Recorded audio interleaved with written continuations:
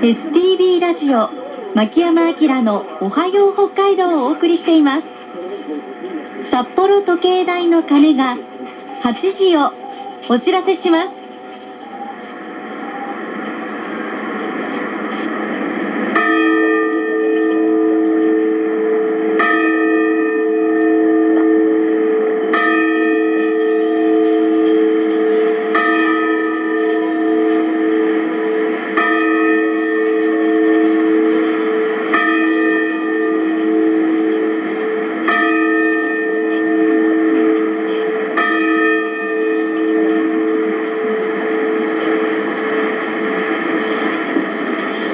8時の札幌時計台の鐘。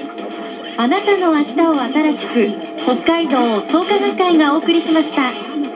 STB ラジオ。朝から全開真っ